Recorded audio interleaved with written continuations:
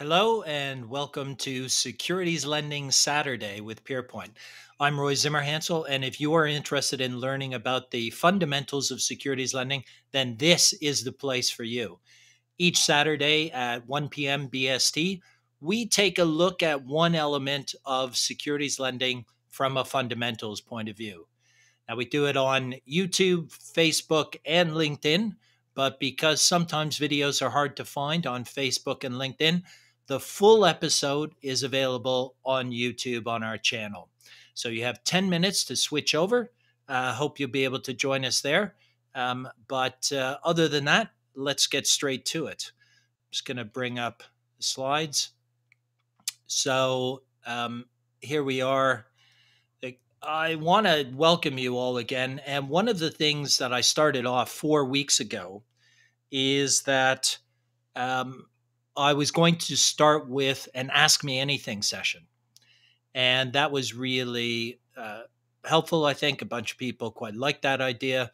Um, and then it gave a lot of feedback from people that said, in fact, rather than ask a bunch of questions that might be kind of all over the place, it would make more sense to go back to the fundamentals and make certain that basic questions were actually answered.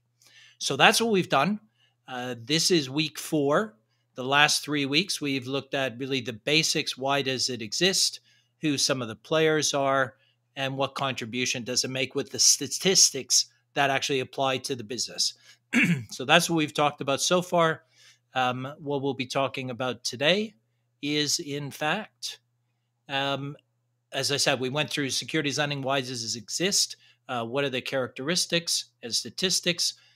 Who were the players, stakeholders, and structure. This week, it's about trading drivers, trade execution, and strategies that drive the business. So, hopefully, uh, that will grab your attention. Uh, but first, let me ask uh, if anyone's out there, tell me where you're actually watching from. Uh, we tend to get uh, quite a diverse global audience, and I'm looking forward to uh, another one of those sessions here today let me just get onto the screen. There we go. So now we can look at the full set of slides and we'll just get started. So, as I said today, it's about drivers, both from the fundamental market side of the business, but then what triggers securities borrowing or lending activity. Then, how does that happen with the execution? And we'll talk a little bit about sort of pricing strategy and utilizations. So, uh, thanks very much for the viewer that's uh, just come in from Hong Kong. I can't see your name here, uh, but this is just a quick reminder to everyone that um, in 10 minutes, we will be switching, or in fact, five minutes now, we'll be switching over to YouTube. So, if you haven't uh, joined us there yet, go to that link, that will take you through to our um, our channel. Um, if you want to just skip right to it and, and go to the channel itself, I'll bring that up again in a second. But as I said, at uh, 110, we'll be switching to YouTube. So if you're looking at the introduction bit here on LinkedIn or Facebook and you want to see the rest of the show, no problem. Go over to our YouTube channel, which is listed there, and you'll be able to see the whole thing either live. Hopefully, you can join us now and ask questions and make comments. Or if not, then we love uh, people that watch it in replay as well, because uh, that means you're spending your valuable time uh, either live or on replay, and we really appreciate it. So uh, let's get to it. Right. So I realize this is a little bit of a busy slide. So we'll take this kind of in stages over the next few minutes. Um, the right hand of it, right hand side, so where we have the hedging and the arbitrage and the directional trading, I've kind of put a little line marker down the middle here because those are market related trading activities. So think of that, that's the trading drivers. And then the left hand side of it, the operational issues and collateral transformation, those are other drivers behind it, but driven for other reasons. And we'll go into both of those as well. So, this is what actually uh, creates the need for the business. Uh, if we just take it from the top, start off with hedging. When we talk about hedging, remember what we're talking about here is not the securities lending trading itself. What we're talking about is the fundamental market activity that drives the uh, subsequent borrowing of securities. Okay. So these are the market trades. And because of the market trading activity, it creates a need to borrow securities. Okay. Uh, just a quick reminder that uh, in three minutes, uh, I'll be switching over to YouTube only. So hopefully you can join me there. Um, now, what I was saying is the hedging activity. When we talk about hedging activity, what we mean is someone has a long exposure to the market. They have a, a portfolio or a stock uh, or a bond or really a diversified portfolio, or they have some kind of exposure to the market. And they like that exposure. They think that portfolio uh, and their holdings are what they want to have, but they might be concerned that uh, events beyond their control might happen. There might be some kind of liquidity event in another market that impacts them, or as with the some of the action last year in February and March, triggered by oil price disputes uh, between Russia and Saudi Arabia that ha- that started uh, a, a knock-on effect that had some impact on the market. So whatever the reason, people like their portfolio. They're concerned that there might be some event that impacts the value of their portfolio. So, what they want to get is short exposure so that if the market moves against them, they'll make some profit from the short positions, which will offset the losses on the core portfolio, which remember they're happy with. They might think that in six months, nine months, five years, this is a great portfolio. But what I want to do is just give myself a little bit of protection. And as the second point says there, um, in the event uh, of a continually rising market, well, of course, what that means is the amount of hedge that you need to have also increases. So the amount of shorting increases, therefore, the amount of borrowing activity increases. So that's why you find in markets that are constantly rising, you actually have higher and higher short selling activity because it's about hedging activity. The second point is arbitrage. And what I'm talking about here is it, it as it says, it captures mispricing opportunities. What do I mean by that?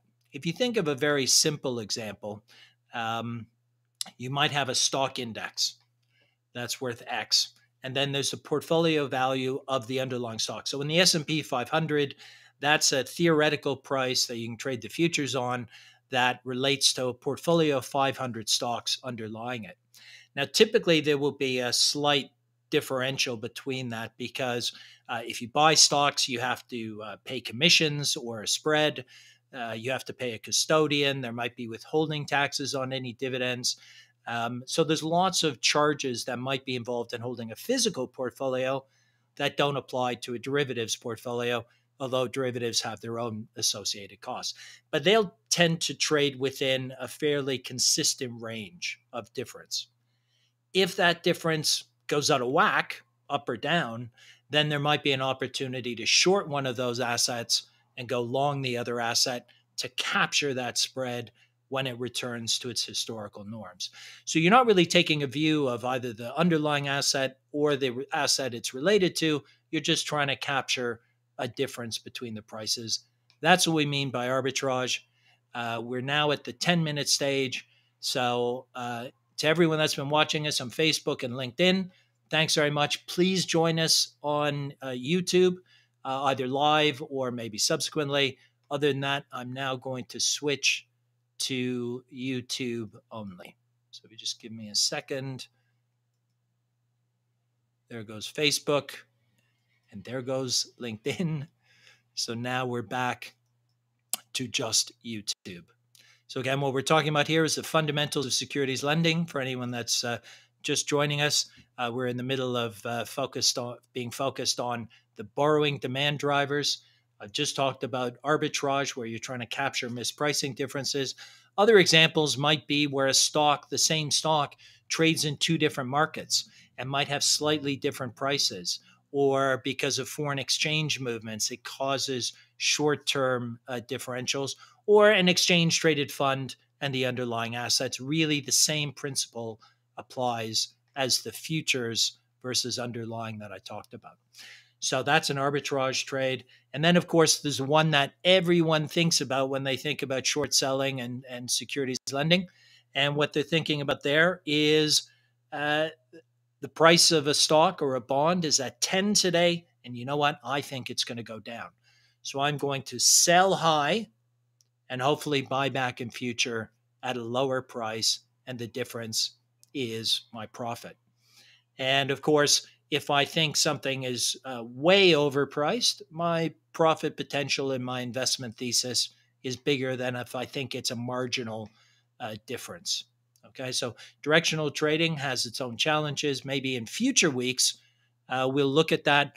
Uh, I'm I'm interested uh, in hearing from everyone there uh, in the audience. Do you want to hear uh, more about the underlying trading strategies that drive uh, the hedging trading, the arbitrage trading, or the directional trading? Let me know what you think in the comments below, and we can put together future shows on that. So, all of the things that I've just talked about the hedging, arbitrage, and directional that all causes market trading activity, short selling activity. And what that means then is that uh, there is uh, need to borrow securities, and that borrowing then um, uh, creates securities lending demand. Um, just a quick comment I've had, uh, I've got some uh, distortion on my sound. Uh, if anyone's having a problem with the sound, uh, please uh, please make a comment. Otherwise, I'm going to continue because everything looks fine and it was a short term blip. Okay. So we talked about the right hand side. Now let's talk about the left hand side of this chart. And what we're talking about here are two things collateral transformation, which I'll talk about on the next slide, a dedicated slide to it, because it's really fundamentally important to the revenues and the scale of the business over recent years. And then the second part, which is operational. Now, what I mean by operational here is that if I'm a stockbroker and my customer says, Roy, please sell me, sell my stock for me. Uh, I might go do a sell execution and sell that stock on the stock market. And that means that I have to deliver those securities into the market. But what happens if my customer has some kind of a problem getting me that stock? well, then not only do I have a problem with my customer, but now the market has a problem with me because I haven't delivered it to them. And maybe they sold it to someone else, and you can see the knock on. So, one of the things that I might do is while I'm waiting for my customer to deliver me that stock, I might borrow the stock so I can satisfy the market side of the transaction and keep everything running efficiently. And then I'll sort out the problem eventually with uh, with my customer. So that's what I mean uh, by uh, resolving operational settlement issues. That's really the, the history of the business. The vast majority of the volume in the past has been driven by this kind of smoothing the plumbing, resolving problems, greasing the wheels of settlement activity, whatever way you want to describe it. Uh, that's really what the history of it is. Um, now it's much more uh, trading oriented. And certainly from a revenue point of view, the revenue comes from all of the other boxes. So operational process is really important for market efficiency, but maybe less so from a revenue point of view. I hope that all makes sense to you. I'm just going to take a quick drink. I really feel like I drink so much Coke that they should sponsor this program, but we remain ad free. Um, for the moment. So uh, that's that's borrowing demand drivers. Now, I mentioned collateral transformation. The reason I mentioned collateral transformation is because it is a fundamentally important part of the business. What do we mean by collateral transformation? If you look at the boxes in the upper right hand there, um, what we have is someone who is an HQLA taker. HQLA stands for high quality liquid assets. And that's a defined term in banking regulations. So people will understand what that means. But the acronym for that is HQLA.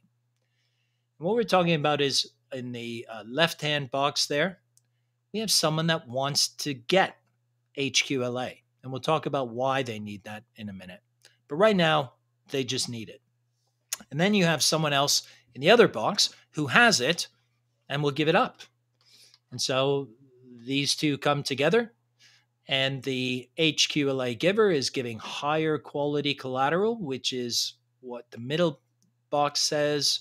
They give that to the taker, and the taker gives what's considered to be lower quality collateral to that giver.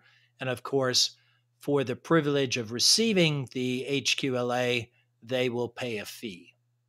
So these guys are protected by the lower quality collateral. They might take a higher value of it to uh, offset some of that risk. But now let's talk about why this even exists. So it's really been driven in the period after Lehman Brothers because regulators saw that, in fact, about a year before Lehman Brothers uh, fell apart, the US subprime uh, catastrophe began. what we saw in markets was that even before the stock market was affected, the short term borrowing and lending cash market really froze up. People were concerned that their counterparties were very risky. And so what they did was uh, try to borrow as much money as they could. And sometimes they couldn't. And it's these liquidity crises that, uh, or this lack of available short term funding, that actually put many firms out of business. So a lot of the um, defaults or insolvencies or government takeovers that we've seen, in fact, come from this fact that these banks that used to fund themselves on a short term basis all of a sudden couldn't fund themselves on that basis because the um, short term money markets froze up. So regulators saw this and they got concerned and they said, you know what? To protect the financial industry in future occurrences of these same tight liquidity conditions, we regulators are going to put a requirement on banks to show that they can continue to operate for 30 calendar days, irrespective of whether the money markets are open or not. So it's kind of like a store of cash, and it's based on the value of the bank's cash outgoings for a month. So regulators look at it and say, What are your figures for outgoing? Now you need to hold back reserves that will give you the opportunity to raise cash if we get into the kind of summer of 2007 that spilled over into 2008 conditions sometime in the future. So it's driven by regulatory requirements that allow banks to operate in a closed liquidity environment. So that's why it exists. What kind of assets are high quality liquid assets? Well, I guess the definition of it is is really it's an asset that you can change quickly from its asset state into cash. And not only that, but at a price that is the last time you valued it uh, without too much price disruption. Okay, again, what do I mean by that? Think of your house or your condo or a property you live in. Well, you know what? The truth is, uh, you can look at that as being a very illiquid asset. If I want to sell that, I have to get estate agents involved. Um, I have to pay taxes like stamp duties in many countries. I have to get listings. I have to get people in to look at it. Um, there's a lot of work and a lot of time that goes into turning that property back into cash. Okay? But if I want to sell it, really quick and I make it worth half the price that it is on the market, that process can go pretty quick.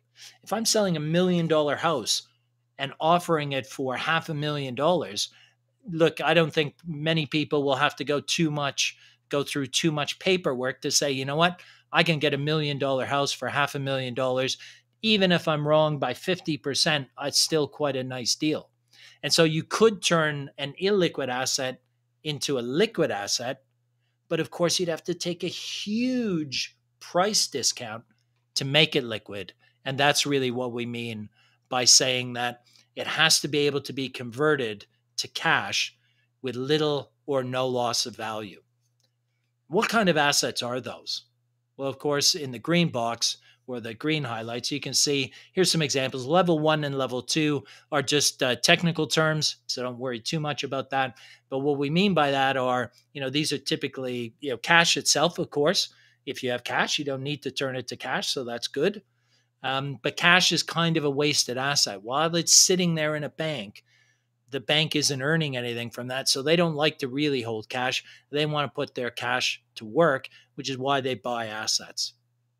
Now, so cash is one thing. The most obvious one is government bonds, because government bonds are usually very liquid assets.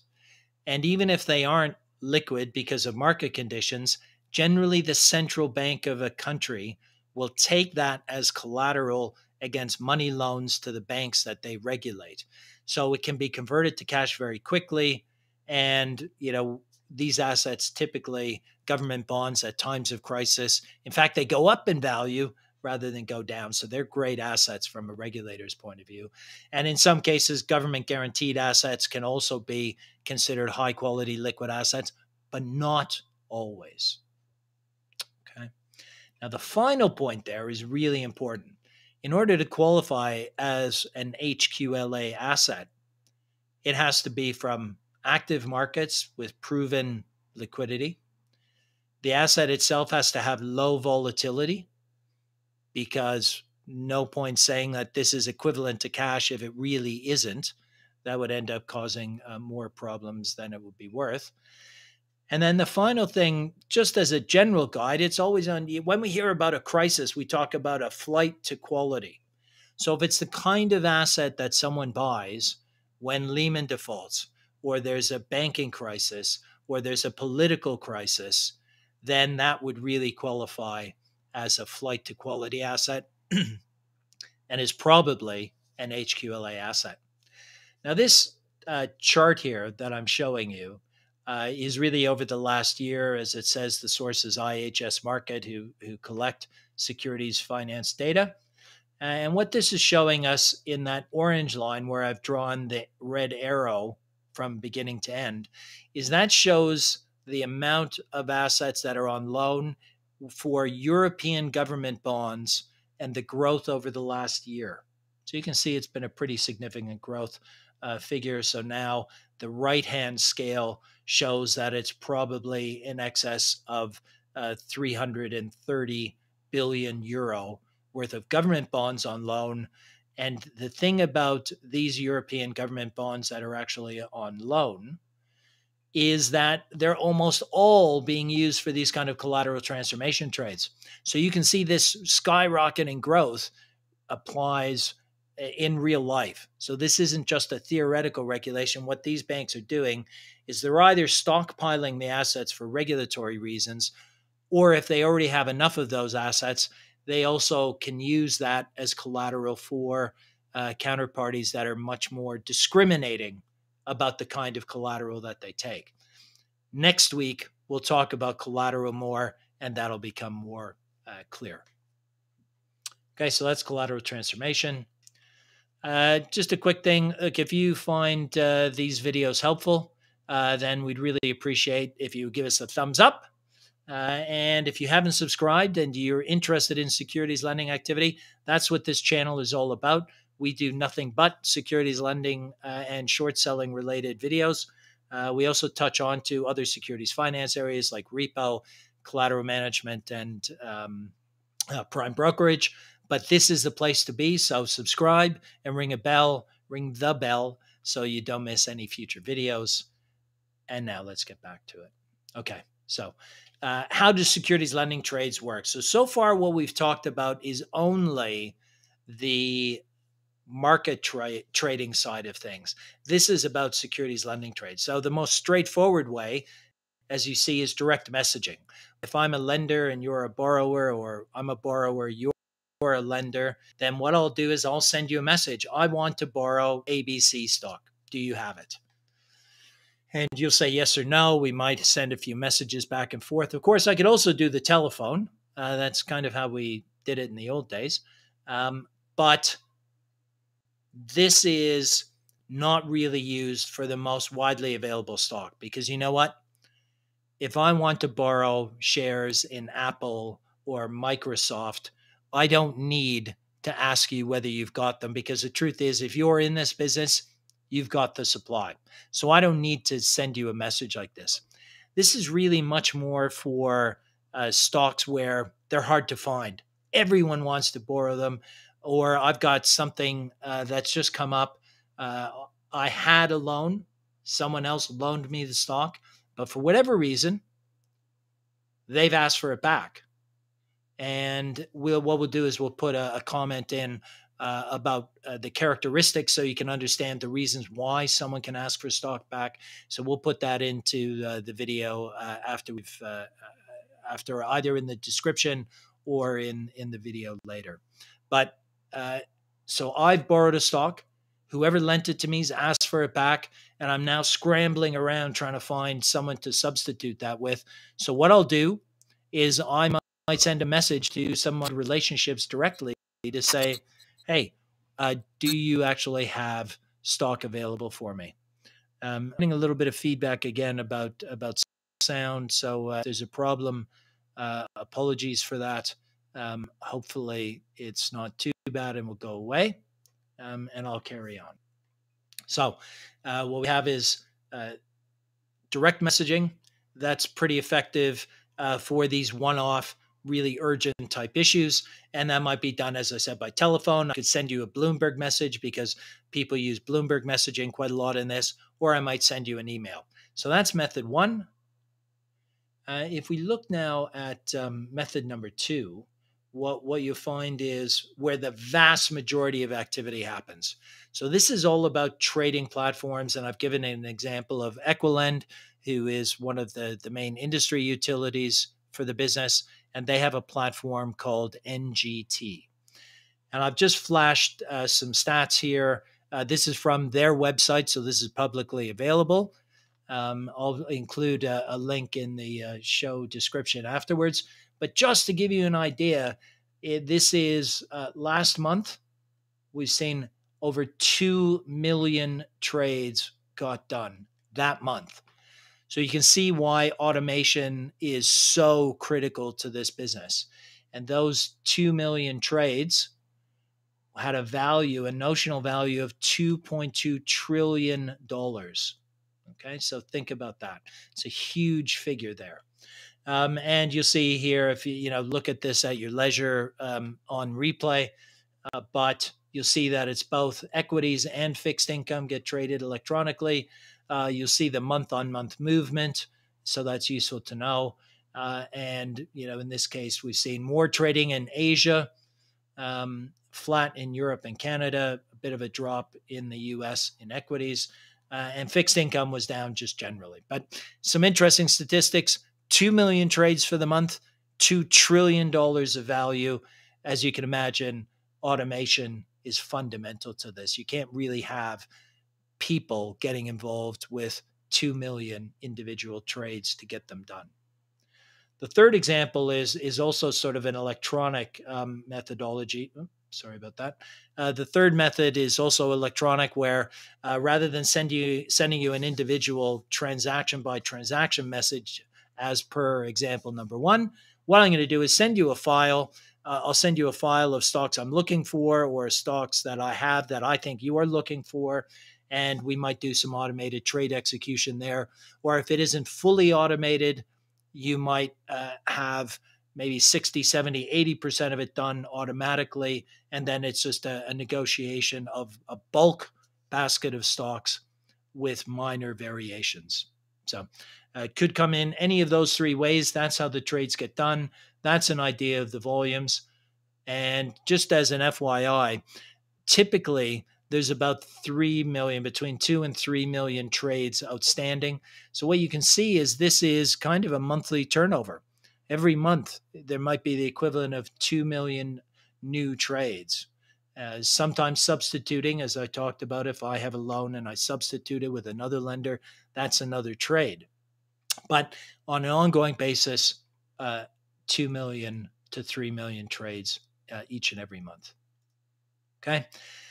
Now I want to talk a little bit about how lenders go about generating revenue. And what they do is two different strategies. And in truth, people have a blending between the two. But one of them on one extreme is called intrinsic value. And what the lender here is trying to do is capture the most revenue that they can get with the fewest transactions possible. So they're trying to capture the loans that they can make for a very high fee, but not a lot of uh, number of transactions, not a lot of settlement costs, uh, fewer operational uh, transactions because all of the post trade uh, support, maintenance, administration involves work. And so the more trades you have outstanding, the more work. And so what these people are trying to do is they're trying to say, let me find the ones where there's more demand for borrowing than there is supply. So I want to focus on those highly in demand securities so I can make the majority of my money from the fewest number of transactions. And so, as we talk about in the practical application, there's a couple of terms for this, which I will describe to you in a couple of slides. But the, these would be warms and specials and super specials and hot stocks. There's lots of different names, but this is where there's quite a lot of demand. Now, the impact of taking this strategy and approach is that the fees they earn per dollar of asset at risk or on loan, because they're really equivalent, is going to be higher than average because the amount of money that they're making, because they're only focusing on the very in demand securities, of course, is going to be high. And that high fee is going to be spread out over a lower value of assets. And so the uh, return will be higher than average. But that also means that they're focused on a lower market share, and that in itself has implications. Now, who's this good for? Well, this is for people that are very opportunistic. You know, I'll lend this stock and make quite a high return, but I don't need to look at the rest of my portfolio. I just want to generate some extra return. Or for people with uh, relatively small portfolios, but in emerging markets or in uh, technology, maybe emerging technology companies where there's a lot of focus, or possibly in future, stocks that have good ratings in ESG or bad ratings in ESG. And again, I'll come back to this in a future episode, no doubt. The other thing is, and we'll talk about this in a few weeks when we get to risk, but often a, an investor who's who we call a lender in this example will employ an agent. And again, if you go back to the uh, structure participants and players uh, episode, you'll get an understanding of who those participants are. And if you're watching live, you can check it out in a uh, previous uh, live stream from this channel as well. So these agents who are working on behalf of the end investor may provide a level of protection called an indemnity, where they say, we'll lend out your stocks to an agree- agreed list of borrowers that you and I agree on. But if something happens to them, what we'll do is we'll sell the collateral we're holding, we'll buy back the assets that you had and we lent out on your behalf, and now we're gone because that entity is gone, and we'll make you whole. We'll buy back those stocks. You'll, you'll end up in the same place you started. So that's in many ways an insurance policy, although they hate when you call it an insurance policy because it's not an insurance policy, it's an indemnity. Uh, but the subtleties are very you know, minor. Um, so, this, though, of course, is a risk for the bank because now the bank is kind of uh, potentially uh, picking up the tab for any problems that might happen with the borrower community. And their regulators say, well, hold on, we don't mind you doing that. But if you're going to do that, what you need to do is set aside capital. So, one of the reasons why some agents will look at this intrinsic value strategy where there's fewer assets by value on loan but higher fees is they may have limited capital that they want to allocate to the securities lending business. Intrinsic value lending meets that criteria. So this really captures, as it says in the bottom line, the majority of revenue with a minority of costs. So that's that's intrinsic value lending. Uh, we'll now go to um, the second strategy, as it says in the uh, in the comment below. Uh, if you like this, if this is giving you some value, please give us a, a, thumbs up or a like. We'd appreciate that. Helps us reach more people, share this information with a wider uh, community of people, and uh, and that's of course what we're all about. Uh, so please do that. And again, uh, if you want to see future videos, don't forget to subscribe. Um, strategy number two: absolute return. As the picture indicates, this is about making as much money as you can. It's about capturing the maximum revenue. And so here, rather than trying to focus on the securities that are most in demand, we're just trying to meet whatever the demand is widely available uh, or really narrowly available and really thinly available. The truth is, I want to cover the whole spectrum. I want to lend out anything I can possibly do because all I want to do is make money. So I need to get as much on loan as I possibly can. That's what we mean by absolute return. It's the absolute amount of money. What that means statistically, of course, is if I have quite a lot of stocks on loan, that my return on average per dollar of risk will be lower because not only am I lending out the high value stocks, I'm also lending out the low fee stocks.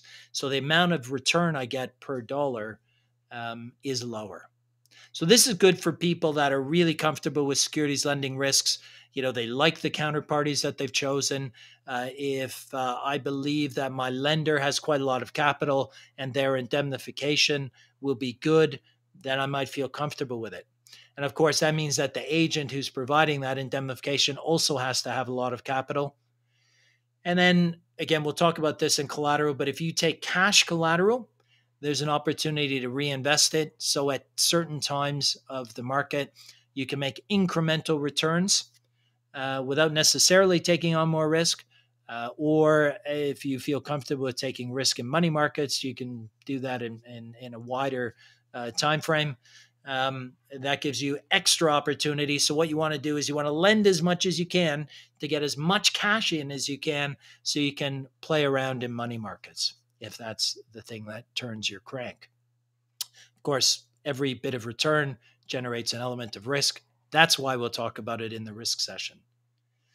And then, of course, the other angle of this is that if I'm a bank that's doing lending for my clients, and in each of these global markets, and we said securities lending is running in more than 40 markets around the world, what we mean is that uh, if I'm using my subsidiary in 20 or 30 or even five of those markets, and I'm moving a security and that generates a charge, well, if I'm generating a charge and it's going from one pocket of mine to another pocket of pocket of mine as an organization, I'm going to be less concerned than if I have to pay a foreign bank the movement fees because at least I'm keeping the revenues internal. So it's easier for a large bank with a large network of their own that they use around the world to follow this kind of absolute return strategy. Because as the bottom line there says, the idea is to capture as much revenue as you can but of course, that will generate more trades, more transaction volume, and therefore more fees. So it's not for everyone. Now, as I said, most firms are somewhere in between that. Okay, so two strategies uh, one is intrinsic value, the other is absolute return.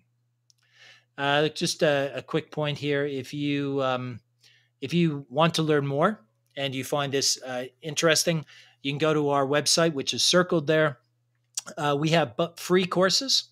So this uh, primer on securities lending gives you a very high level overview.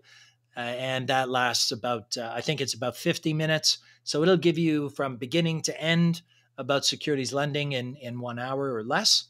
Uh, and then, of course, we have paid courses as well, which go into quite a lot of depth on each of these topics. Uh, and then, for those of you who need this for regulatory purposes, it comes with uh, continuing professional development credits. Uh, these are all sort of online on demand, so it's convenient uh, and you can watch them and participate whenever you like. Okay.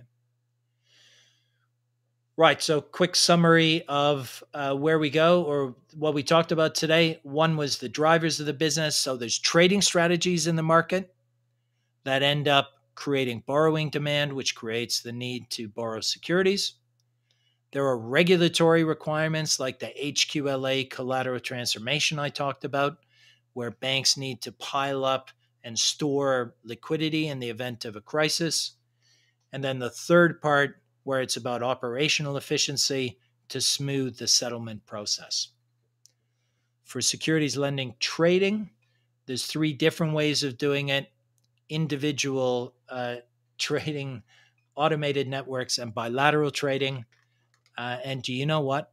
I've just realized I completely skipped the slide.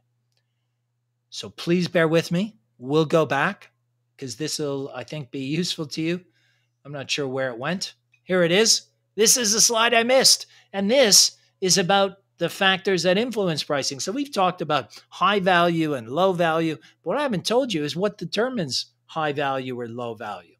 So that's what we're going to do now before we get back to the summary. All right. The wonders of live streaming. Right. So securities lending is very much, as it says at the top line, a secondary market trading activity. So people don't just borrow securities for the fun of it. They always have to have some kind of driver, whether that's a trading side of things uh, or whether it's operational efficiency or whether it's regulatory driven. There's always something else happening. So securities lending is reactive in that sense. Now we call it trading and of course, there is an element of trading involved with it. But the difference is when I think of a trader, I think of someone that takes a risk position. If I'm going to buy GameStop, then hopefully GameStop price goes up, right? I'm taking a risk that it might go down. But securities lending trading, in many ways, as long as your counterparty stays in business, you don't really have that much risk you still have residual risk. But the main one is that your counterparty is still in business. Because if they're still in business and they fail to live up to their part of the contract, you can take them to court. That's the value of having contractual relationships. So as long as your counterparty stays in business, so you're not, so it's really much more of a relationship business in this sense. And it's not about risk taking in the position. Because if I lend out GameStop well, contractually, my counterparty has to give me all the equivalent value, whether GameStop goes up or goes down, whether it makes a dividend or not a dividend, if it goes through a stock split or doesn't have a stock split, whatever I start with, my counterparty has to give me back. I have to end up with that. So, from that point of view, counterparty selection is important. And so when I'm doing an individual trade, it's not about risk taking other than selecting the counterparty to trade with. It's much more about negotiating for the transaction that really is the best set of terms. And I'll talk about the terms in just a second. But I'm trying to negotiate for the best series of factors. So, price, collateral, dividend, counterparties, all of that. That's what I'm trying to do. And because securities lending is really supply demand 101, we have really a fundamental economic business here. If there's a lot of stock available for loan and not much borrowing activity or demand to borrow that, that stock, then people aren't going to pay a very high fee for it because there's a pile of stock there and you if you want to lend it to me, you have to make it a really low price because if you don't lend it to me, that's okay. I have 10, 20, 50 other people I can borrow it from. So give me your best price. Pile them high, sell them cheap. And that's what we would call in that upper uh, area here easy to borrow, or we call it general collateral, or we call it GC for short. So that means supply exceeds demand. And you can see that the criteria here is wide availability, low demand, generates a very low fee. On the other end of the extreme, we have high demand and limited availability. There's not many people holding this stock. GameStop is a great example, right? There's not many people in the middle of January that were holding GameStop that were lenders that had any excess supply. All the GameStop stock was on loan. So if I'm a new short seller in the middle of January, it's going to be hard for me to find uh, someone to lend me that stock. And if I find them, well, you know what? They are going to charge me a bomb for that because they can lend it out to just about anyone. Okay. So that's what we're talking about with high demand and low availability. The fees will, of course, be very high for that. And most of it's in between. Um, you know, warm or mid level pays a little bit more than GC. Hard to borrow stocks or hot stocks pay more than these. And specials or super specials pay even more. And so there's a uh, there's about right now, for example, I think that there's about thirty billion dollars of stocks on loan today that generate fees of 500 basis points or more per annum.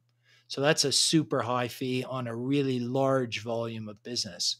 And so, as this box here says, it's not unusual to see the majority of revenues generated by a tiny minority of the securities on loan because Apple, which generates maybe a tenth of a percent a year on its fees, is going to have a hard time competing with the latest, you know, GameStop or AMC is now also uh, ripe for a short squeeze, according to uh, many people.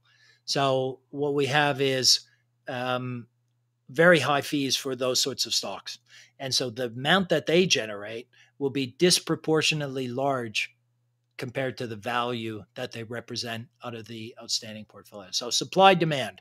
If you take away one message, this is about supply and demand. Now, the interesting thing that we talked about in the very first session was that you can renegotiate the price because supply and demand changes over time. So if all of a sudden uh, people don't want to borrow GameStop anymore. And a lot of the short sellers that closed out their or closed out their transactions so no longer need to borrow it whether they made a profit or not is immaterial but they they don't have a short position anymore so all the people that used to lend out GameStop it's sitting there collecting dust and they want to earn some money from it so if I'm borrowing the stock from an expensive lender and there's a cheaper lender out there, well, of course, I'm going to go to them. And so it gets adjusted. I can go back to you and say, you know what? You're lending it to me too expensive. Give me a lower price or I'll go somewhere else. You have the option to say, well, my rate is my rate. If you don't like it, go somewhere else. And then we can agree to part ways.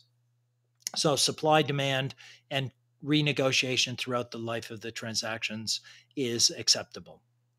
Now, the other thing is because a borrower has to make a lender whole, uh, if there's a dividend on a stock and I've borrowed it from you, I have to give you the amount of dividend that you would have got after tax.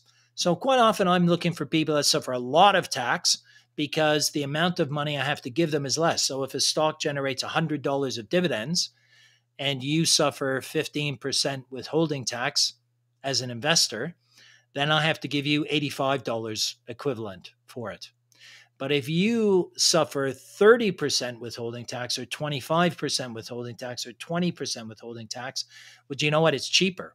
So if I have two lenders, one that gets 80 that would cost me $85 of dividends and another that might cost me $75, I'm going to the $75 one because it's just cheaper for me. It's the equivalent of a cheaper fee. It's just another aspect of it. The final piece is collateral. So, again, we'll talk about this next week, but every investor is entitled to set their own collateral criteria, what they will accept as collateral on loan. But of course, that has cost implications. So, again, a borrower will always look for the cheapest cost of collateral. And none of these factors on their own decide it. That's why I was talking about it's the best fit. So, what's the fee? What's the dividend requirement? What's the collateral? And then there's relationships on top of that. Right? And there's consistency, and there's lots of intangibles that also influence uh, pricing and who I go to in the first place. So, uh, those are the factors that influence pricing. Uh, we've talked about all the rest. So we go back to the trading, the trading execution, and we talk about the strategies. As I said, supply and demand 101, different utilization strategies or blended. So it's important to understand what the drivers are and what, if you're going to use a service provider, what's their approach to the business and does that actually fit with you? Because the different strategies will generate different outcomes and, of course, have different risk profiles as well. So that's the summary. Uh, remember, uh, next week it's actually part five, which is collateral.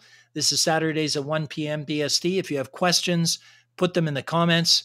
Uh, otherwise, I hope to see you next week on Securities Lending Saturdays, and we go through the fundamentals of the business. So thanks for joining me. I hope you enjoyed it. If you haven't given us a like or subscribed yet, think about doing it, and I'll see you next week.